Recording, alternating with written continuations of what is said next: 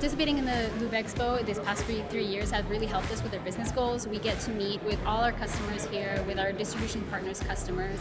We get to see presentations, get inspired.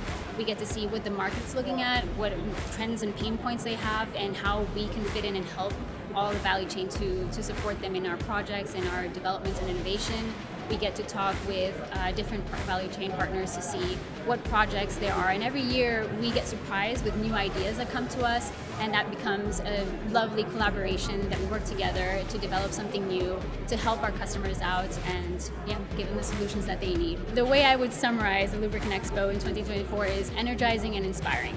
So for me, the highlight of this has always been talking to the value chain, seeing the presentations, and really seeing what everybody is working on and getting inspired on what we can do, what new ideas we can have, and uh, put them forward so next year we can bring something new to the market.